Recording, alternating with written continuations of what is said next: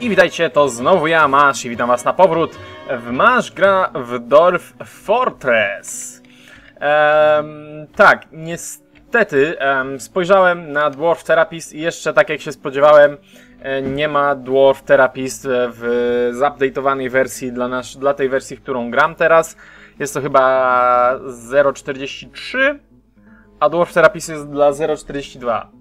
Um, mam nadzieję, że nie będzie to trwało zbyt długo, zanim em, zrobią e, nową wersję tego Dwarf Therapista z tego prostego powodu, że tak naprawdę dla trybu Fortecy nie, nie zostało wprowadzone zbyt wiele zmian. Większość zmian zostało wprowadzone w trybie e, przygód, e, który nas nie interesuje, przynajmniej mnie, nie wiem jak was. E, zaraz, teraz patrzę sobie, co ja tutaj narobiłem, że tutaj są cztery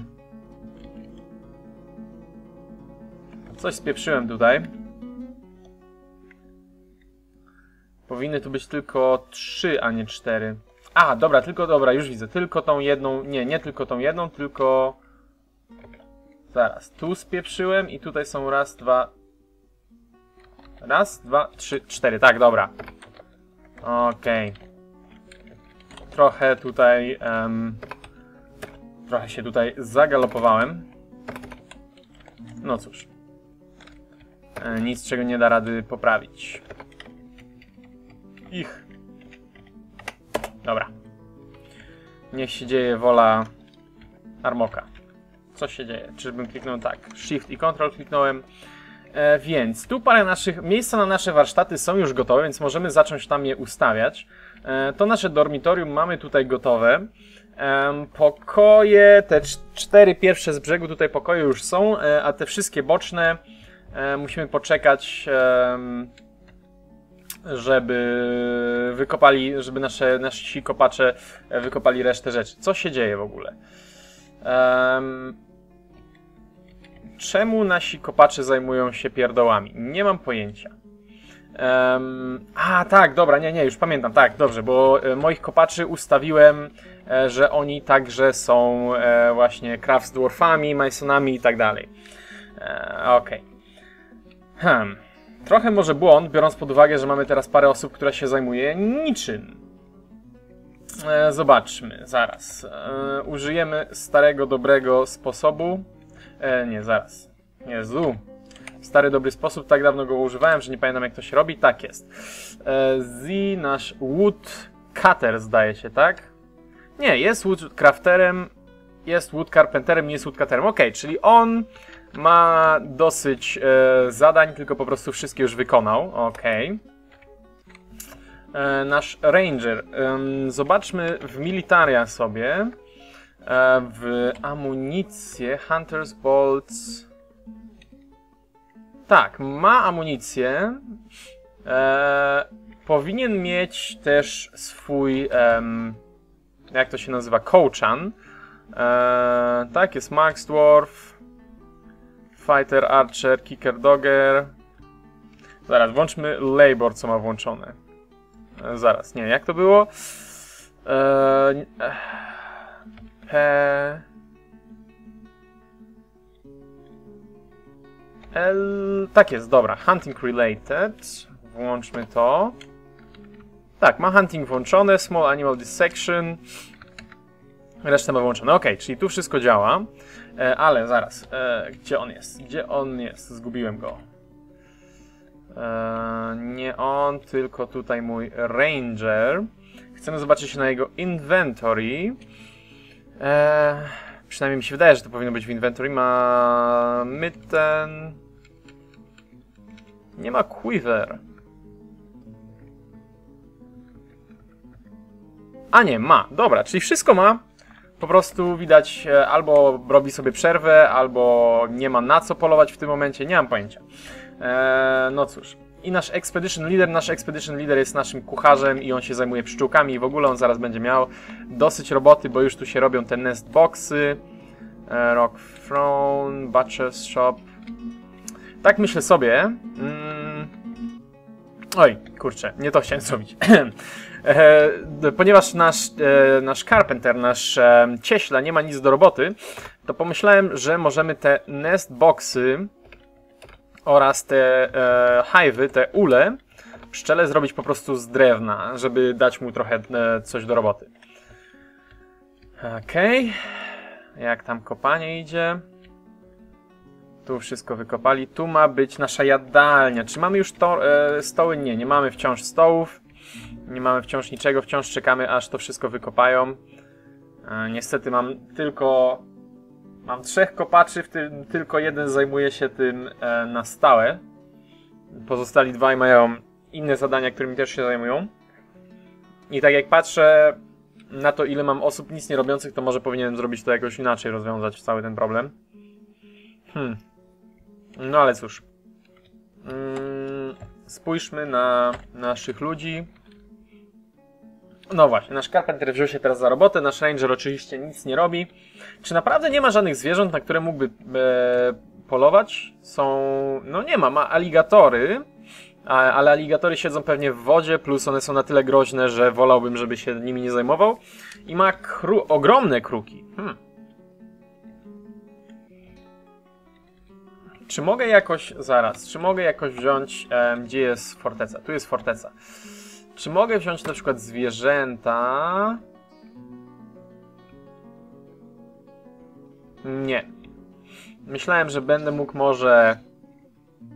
Um, że będę mógł może y, zaznaczyć zwierzęta, na, żeby na nie polował, ale wygląda na to, że tak się nie da.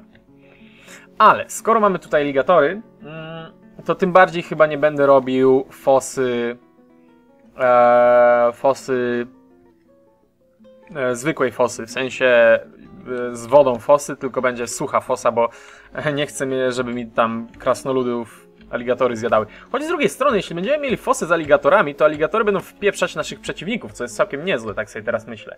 Więc może jednak, może jednak chcę, może jednak chcę. E, dobra, tutaj pierwszy poziom tych, em, tych magazynów się wykopał, e, więc może... Zaraz. E, zróbmy więcej tych e, całych naszych klatek schodowych. W sumie to powinienem zrobić coś takiego i teraz zejść na sam dół, aż dotąd. Tak jest i teraz wszędzie wszyscy będą mieli. Chcę od razu połączyć wszystkie piętra e, tymi właśnie klatkami schodowymi. Więc teraz się tym zajmiemy. Jeszcze jedno w dół, tak jest. I nie, zaraz, nie tutaj, tylko jedno wyżej chcemy iść i teraz aż dotąd. Okej. Okay. Do góry. Hmm, czy mógłbym na to makro zrobić? W sumie mógłbym. Czemu by nie? Czemu by nie zrobić na to makro?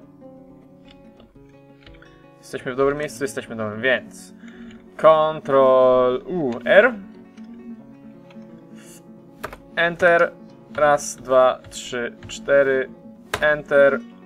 Ctrl R. I teraz możemy pójść tutaj. Ctrl P. Uuu, szybciutko. Podoba mi się to. Eee, teraz możemy iść tutaj. Ctrl P.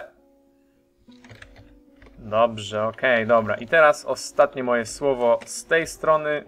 Ctrl ple. Ple, tak, dokładnie. Ctrl ple. A fuj a ble.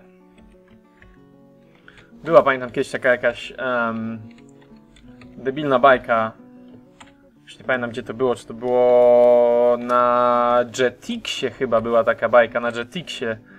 Jakimś tam, już nie pamiętam jak się nazywało, nie pamiętam co tam chodziło, ale jakieś takie, no, zwykła zwykła kreskówka o jakimś superbohaterze czy coś takiego i tam był jakiś taki gryf, który się nazywał Afuj Able. Ponieważ e, wśród gryfów imiona się nadawało e, zgodnie z tym, jakie pierwsze słowa były dziecka danego. No i akurat akurat tamten jeden trafił na Afuj Able. Co pamiętam, e, bardzo, bardzo mnie śmieszyło swego czasu. Wciąż uważam, wciąż jestem w stanie docenić, e, wciąż jestem wielkim fanem debilnych żarcików. E, więc szczerze powiedziawszy, wciąż trochę mnie to śmieszy, a na, a, a na pewno doceniam. Doceniam e, to, że ktoś wpadł na taki pomysł, tak? o, tak. A fuj, a ble. W ogóle, jak tylko dostaniemy migrantów e, i może jak tylko zacznie działać e, Dwarf e, the Rapist, e, to zaczniemy zaczniemy nadawać naszym krasnoludom e, imionka zgodnie z numerami. Taki to będzie e, też trochę powrót do przeszłości, tak? Niektórzy pamiętają może moje zamiłowanie do, do, do nadawania e, krasnoludom imień, imion wedle po prostu numerów, bo jest to bardzo praktyczne, słuchajcie, to jest naprawdę wyjątkowo praktyczne. Em, ponieważ e, po pierwsze, mniej więcej od razu widzisz, ile masz krasnoludów, e, a ile masz, od, ra- ile masz, zaraz co się dzieje, mine, no, nie działa, dobra. E, mniej więcej od razu widać, ile masz krasnoludów e, w swojej fortecy, tak, to raz. Em, dwa, widzisz, ile w sumie miałeś krasnoludów w fortecy, tak, bo ci, którzy ci umarli, to e, wciąż dalej dajesz numery E, nie, nie, nie, nie zmieniasz potem wszystkim numerów, dlatego, bo jeden krasnolud umarł, tak?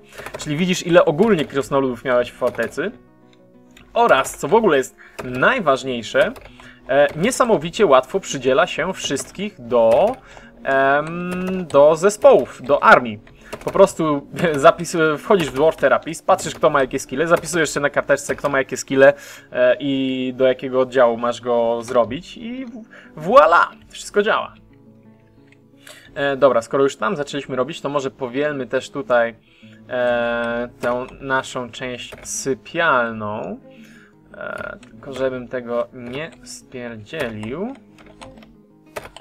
Dobra.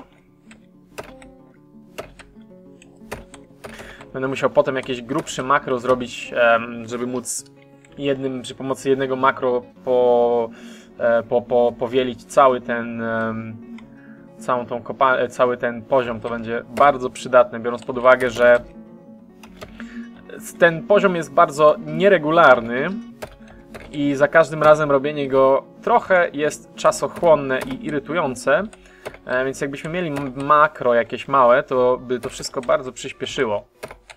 E, tak, a to chcemy, żeby coś, e, żeby taki wzór mieć jako ogólny wzór naszych wszystkich poziomów mieszkalnych, tak mi się wydaje. Co najwyżej na przykład zrobię kolejną klatkę schodową, która, będzie która będzie połączona z tą i będzie taki sam wzór tam. E, Tak mi się wydaje, możemy się w ten sposób ewentualnie zacząć rozwijać, e, jak już dojdziemy na przykład do, do jaskiń i no niestety jaskinie mają to do siebie, że e, na ogół dosyć trudno w jaskiniach wybudować jakieś ładne, regularne wzorki. Ale tak. W ten sposób może uda nam się trochę zacząć rozwijać na boki. Okej, dobra. Dobra. Em, łóżka. Zacznijmy układać ludziom łóżka. Mamy dużo łóżek. Mm, Jak chcę ustawić łóżka? Bo teraz się nad tym nie zastanowiłem. E, wydaje mi się, że chcemy taki. O, proszę. Taki wzorek zrobić lekko em, sfastyczny. o mój Boże, no cóż. Jak tam krasnoludy, nasi kopacze kopią. Wiecie co?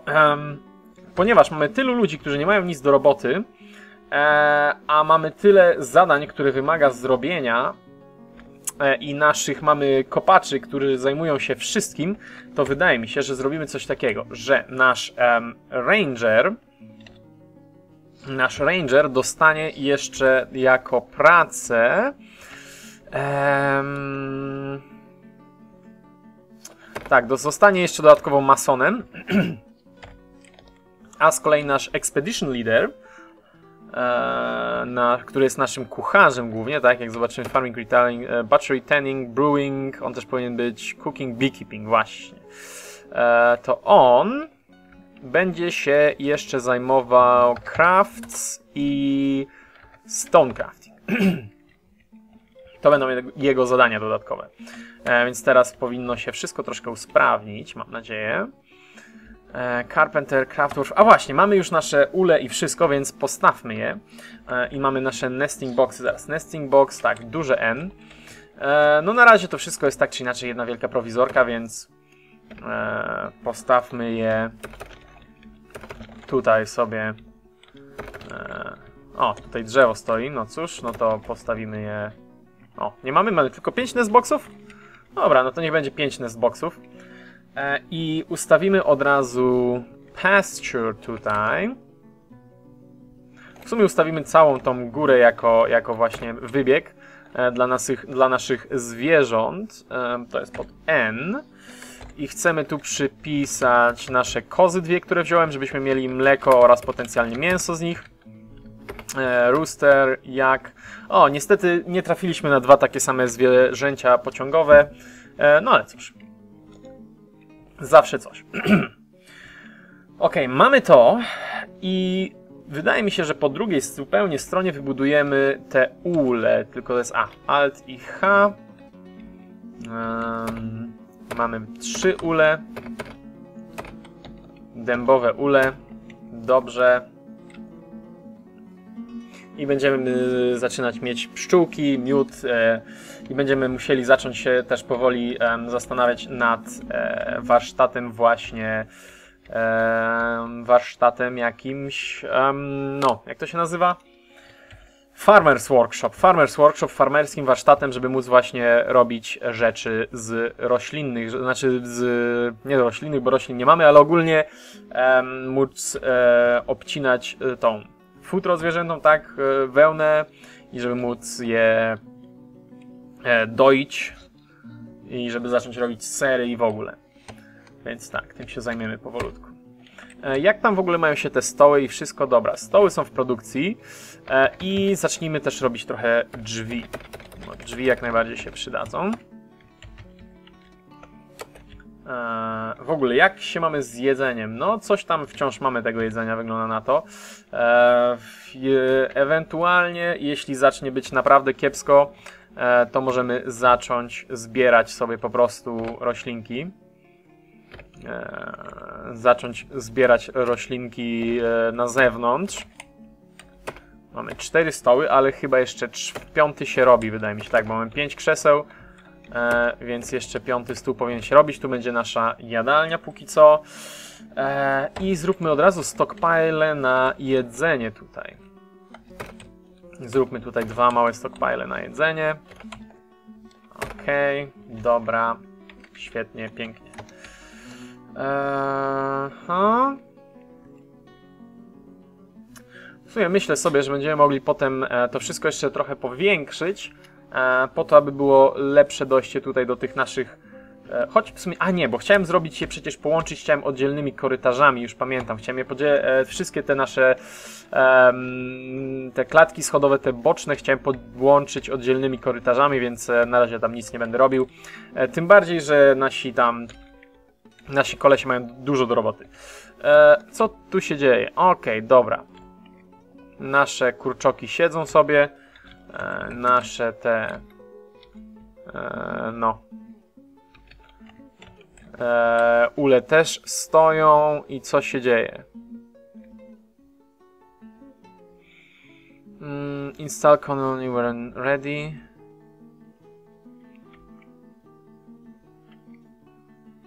Aha, okay, dobra. Nawet mówiąc, to jest takie troszkę mało, powiedzmy, prawdziwe, odnośnie e, pszczół. Ale ogólnie w tej grze wygląda na to, że zebranie miodu, czy ogólnie zebranie um, wszystkiego, niszczy, niszczy całą kolonię. W sumie nie, w sumie biorąc pod uwagę, że to pewnie ma symulować średniowieczne ule, e, to średniowieczne ule były dosyć destrukcyjne dla swoich pszczółek, więc tak, dobra. E, więc zostawimy jeden ul, z którego nie będą e, zbierać e, niczego. I ten jeden nasz ul będzie naszym ulem rozpłodowym, a pozostałe dwa e, z nich będziemy brać nasz miód i nasz wosk. Dobra. Więc pytanie, czy mamy jakieś pszczoły tutaj, ale powinniśmy mieć, na ogół są pszczoły. Eee, zaraz, jak pszczoły wyglądają? Wydaje mi się, że pszczoły wyglądają tak jak wszystkie inne owady. Ale mogę się mylić. Poszukajmy, czy mamy jakieś pszczoły albo te. Nie trutnie. Trzmiele. O właśnie, trzmiele też chyba można użyć do zaczęcia nowego ula. Kurde, no nie widzę nic, szczerze powiedziawszy, co mnie troszeczkę martwi. A nie, jest, dobra, mamy... Mamy ul trzmieli. Okej, dobra. Z trzmieli też można zrobić pszczoły w tej grze, z tego co pamiętam, e, więc tutaj nie ma zmartwienia. W ogóle mamy piasek, co nie? Tak, to jest piasek. Piasek, piasek. E, I to wygląda jak glina, ale to nie jest glina, tylko gliniasty torf, z tego co pamiętam. Gliniasty torf to jest. E, w ogóle, tu już mamy łóżka postawione. Czy mam drzwi? Mam już jakieś drzwi, więc możemy zacząć tutaj robić pokoje. O, tylko jedno, e, jedną parę drzwi, no cóż. E, zróbmy tutaj pokój. Zróbmy też tutaj pokój. E, I kiedyś w poprzednich wersjach zdaje się trzeba było przypisywać pojedyncze em, właśnie te pokoje, pojedyncze sypialnie kraśkom, ale od jakiegoś czasu już tak się nie dzieje. E, oni sami sobie znajdują to co, to, co chcą. Dobra, zróbmy tutaj jadalnię. E, czy to jest w ogóle całe nasze jedzenie? Czy to jest naprawdę całe nasze jedzenie? Dwarven Ram? Nie, to nie może być całe nasze jedzenie. To niemożliwe, żeby to było całe nasze jedzenie. Wziąłem naprawdę dużo jedzenia ze sobą. E... Ha, nie mogę zobaczyć, dopóki nie, nie rozwiążę e, naszego, dopóki nie zniszczę naszego wozu, e, nie mogę tam zobaczyć, co się dzieje. Dobra, nie mamy nikogo, kto się niczym nie zajmuje. Okej, dobra, dużo osób śpi. Okej, dobra. Więc robota wrze, to mnie cieszy. E, zbudujmy jeszcze jeden stół, tak? Bo wydaje mi się, że wydaje mi się, że stołu jeszcze jednego potrzebowaliśmy. A nie, i stołu i krzesła, tak? Bo chcę mieć tutaj sześć. E, a mam, e, zrobiłem produkcję pięciu i po prostu ten jeden stół jeszcze nie nadążył w tym momencie, ale teraz już wszystko mamy. O, proszę, dobra, powoli transportują nam tutaj więcej posiłków. I czy to są jajeczka? Tak jest, mamy jajka. Dobra, mamy ryby, mamy jajka, e, więc powoli powinno być wszystko ok. I wiecie, co sobie teraz myślę? Myślę sobie teraz, zastanawiałem się, co zrobić tutaj. Pamiętam, chciałem jakąś taką karczmę pociągnąć tutaj, e, ale co chyba zrobię, e, to wezmę i przynajmniej z jednej strony zrobię tutaj nasze, e, naszą przetwórnię jedzenia, tak mi się wydaje. Przynajmniej naszą kuchnię. Na pewno naszą kuchnię i naszą. e, jak to się nazywa? Naszą. em, nasz browar, powiedzmy tak. Naszą destylarnię. Gorzelnię. O właśnie, naszą gorzelnię. E, I wydaje mi się też, że zrobię e, tutaj dwa warsztaty, te dwa warsztaty E, jak one się nazywają? Znowu zapomniałem, kurde mol. Eee, farmerskie. o, naprawdę kiepsko ze mną i z moim umysłem. Dobra, wygląda na to w ogóle, widziałem, e, wygląda na to, że mamy tutaj już e, przynajmniej w jednym z tych em, uli pszczółki. Widziałem, że coś się dookoła kręciło. E, nie wiem, szczerze powiedziawszy, jak zobaczyć... Zaraz, pod T jest chyba tak jest, są w środku pszczoły, w tym jednym. W tym jednym są pszczoły. W pozostałych dwóch jeszcze nie. Okej, okay, dobra. Wiecie co? Um, póki co, wydaje mi się, wyłączę na wszystkich trzech um, zbieranie produktów. E, z tego prostego powodu, że chcę, żeby tam po prostu trochę urosły te, te ule najpierw. W ogóle, dobra. Potrzeb czego potrzebujemy, to potrzebujemy przenieść te wszystkie nasze warsztaty na dół. E, zacznijmy od tych dwóch. E, masonem zajmiemy się potem, e, ponieważ obecnie ma zadania. W sumie nie, w sumie... A, co tam. Też anulujmy go i przenieśmy wszystko na dół, ponieważ no, nasze magazyny powoli się już kopią. Właśnie, chciałem wybudować ścianę tutaj z czegokolwiek jest najbliżej. A tutaj chciałem zacząć budować te nasze warsztaty. E, I tak, Carpenter, oczywiście na początku jak zawsze te najważniejsze, e, z czegokolwiek jest najbliżej. E, maso... O, wybaczcie. Mason, Butcher zostanie na górze. Dam z dwa Crafts Dwarf Shop, Crafts Dwarf Workshopy. Potem będziemy jeszcze więcej potrzebować, ale cóż. E, mechanik. Nie pamiętam, czy wziąłem ze sobą mechanika, ale na pewno chcę wybudować marsztat, e, marsztat mechanika. Dokładnie, tak jest. Mój Boże, zróbcie mi coś, bo ja chyba zaraz sam się zabiję. E, I to wszystko? Nic więcej ciekawego nie mamy, co byśmy chcieli? Chyba nie.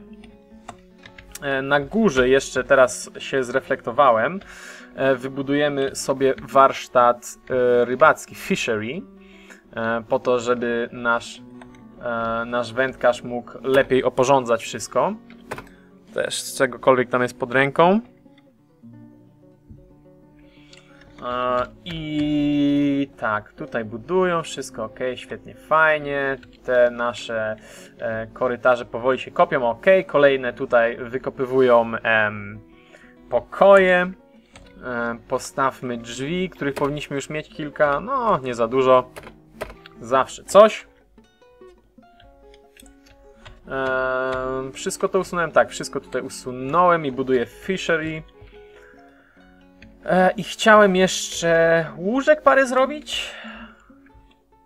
Nie, bo jeszcze nie mam wykopanych wszystkich pokoi, więc nie ma sensu łóżek, e, łóżkami się zajmować. E, o proszę, czy już wybudowali wszystkie te warsztaty tutaj naprawdę tak szybko? Wow! E, tutaj chciałem z drewna zrobić e, bookcase, wheelbarrow, minecart. Właśnie, chciałem się też pobawić tymi minecartami. A, to jest coś, e, co będziemy musieli e, zrobić. Wydaje mi się, że nasza obecna struktura, e, obecna struktura naszej fortecy jest bardzo sprzyjająca temu, więc to się tym zajmiemy. E, wooden table, weapon chest. Eee, nie, na razie tego się tym się nie... O, można robić drewniane drzwi, nawet jakoś nie, nie wiedziałem szczerze powiedziawszy, że można robić drewniane drzwi. Nigdy nie robiłem drewnianych drzwi. E, A, a dobra, właśnie. Beczki chcę zupełnie od dupy strony zacząłem. Wybuduj, wybuduj mi 10 beczek. Wybuduj mi 10 beczek. Jak dostaniemy w ogóle falę migrantów, bo obecnie wydaje mi się nie mamy nikogo takiego, kogo moglibyśmy e, postawić jako menadżera albo jako, jako bookkeepera na stałe. E, Ale jak dostaniemy falę migrantów, to tym się zajmiemy. E, Ty wybudujesz zaraz. Ile mam stołów, ile mi brakuje? Build table, nie mam table. Ok, czyli potrzebuję e, jednego stołu, jednego krzesła i dużo drzwi. Czyli jeden stół, jedno krzesło, dużo drzwi.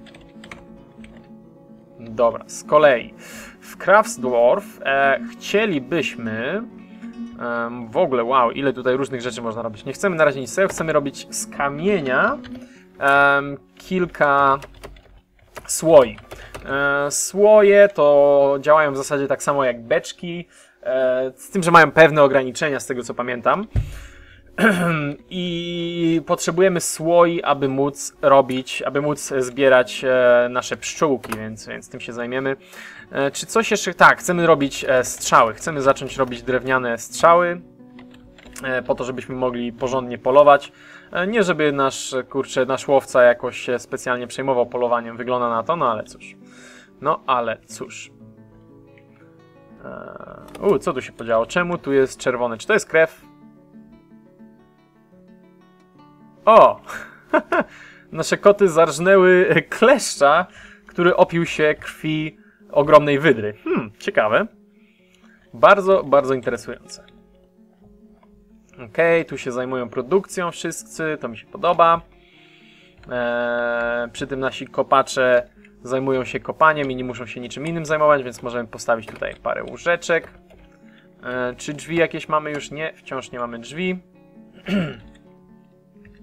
Mam e, siedmiu krasnoludów na początku, mam sześć em, mieszkanek, e, więc jeszcze jedno wybudujemy mieszkanko i będę mógł e, to nasze dormitorium tutaj wziąć i anulować powolutku. Okej, magazyny. Czy chcę już zacząć teraz ustawiać magazyny? Wiecie co? Chyba chcę. Chyba chcę. Em, wydaje mi się, że tutaj po środku zrobimy wielki magazyn e, tych mebli, ponieważ tego będziemy niesamowicie dużo potrzebować. E, remove designation. Będziemy potrzebować dużo miejsca, będzie ładnie centralnie i, i, i w ogóle. E, następnie. E, wiecie co? Poczekam, dobra. Te, ta jedna sekcja środkowa jest już wykopana, więc tutaj zrobię ten mój magazyn, a na te pozostałe strony e, poczekam, bo tam jest jeszcze dużo do roboty. Okej. Okay. Czy to jest wszystko krew z tego jednego kleszcza, naprawdę? Tak, to jest wszystko krew z tego jednego kleszcza, który się opił e, tej krwi całej z wyderki. Huh. Dobra, jak tu się ma? Tu się nic nie dzieje.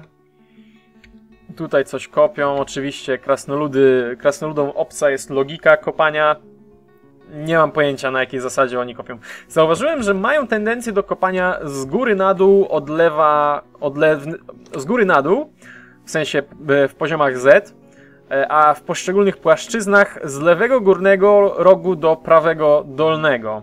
E, przy tym też nie wydaje mi się, żeby to zawsze w ten sposób się wydarzało, ale taką tendencję mają, tak mi się wydaje. No, tutaj coraz więcej miejsca na warsztaty. Przy tym nie potrzebuję tyle miejsca na warsztaty. Wiecie co, nie potrzebuję tyle miejsca na warsztaty, więc póki co um, anuluję tutaj e, kopanie tych warsztatów. Ok, może poza tymi, poza tymi, które już zaczęli. Ale nie, my jesteśmy na razie małą fortecą, mamy mało ludzi, e, nie potrzebujemy aż tyle tych warsztatów, a znacznie więcej potrzebujemy innych rzeczy, więc dobrze jakby się nasi kopacze na tym skupili. E, w ogóle, tutaj e, nie kennels, tylko workshop kitchen, Clothier, co to? Gdzie jest kuchnia? Kuchnia jest oczywiście pod Z, logicznie. Postawimy tutaj sobie tą kuchnię, tak żeby móc już zacząć przyrządzać posiłki jakieś.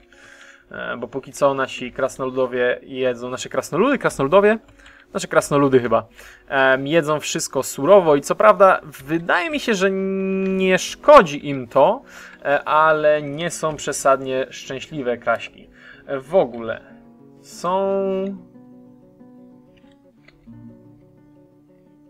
A, nigdy nie pamiętam jak się włącza... Eee, zaraz bo mamy komunikaty, że była jakaś walka i nie pamiętam jak to się włącza nigdy. No cóż, dobra. Zostawmy to, sprawdzę jakoś um, w tak zwanym międzyczasie. Okej, okay, dobra, kolejne pokoje się... O, nie mamy łóżek więcej, okej. Okay. E, ale kolejne pokoje są wykopywane, e, więc choć tyle dobrego. E, gdzie jest nasz carpenter? Wybuduj nam kilka łóżek. Okay. Ty drzwi robisz? Właśnie, mamy sporo drzwi, więc pobudujmy te drzwi. Uwielbiam drzwi. Nie wiem, nie wiem. Może już o tym kiedyś wspominałem, ale uwielbiam drzwi w Dwarf Fortress. Po prostu drzwi w Dwarf Fortress są takie wspaniałe, tak pięknie um, składają e, całą fortecę ze sobą. Po prostu sprawiają, że jest taka pełniejsza i prawdziwsza. Okej, okay, dobra, w ogóle patrzę już, ła, jesteśmy, już trochę dłużej trwa ten odcinek niż powinien, e, niż nasze standardowe, przepisowe pół godziny, e, więc tak, tym razem trochę więcej udało się zrobić niż e, ostatnim razem. Mam nadzieję, że to docenicie. Mam nadzieję, że Wam się podoba, podobają moje perypetie bez, bez zwykłych farm. E, I póki co to tyle na dziś, tak więc no, gadam 3 po 3, co nie? Do zobaczenia, cześć, pa pa!